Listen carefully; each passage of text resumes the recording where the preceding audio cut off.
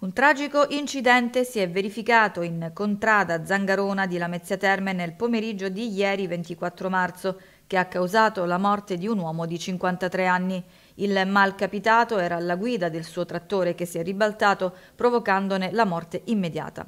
Non sono ancora note le cause che hanno provocato la perdita del controllo del mezzo. Sul posto è intervenuta una squadra dei vigili del fuoco del distaccamento di Lamezia Terme del comando provinciale di Catanzaro e dei sanitari che hanno constatato il decesso per schiacciamento del 53enne. I rilievi per costruire la dinamica dell'incidente sono stati effettuati dal personale del commissariato di Lamezia della Polizia di Stato.